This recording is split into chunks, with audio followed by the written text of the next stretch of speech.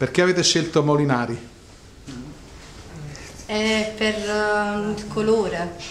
No, veramente per capire anche questo artista, cioè come, come interpreta questo modo, il suo mondo. Cioè.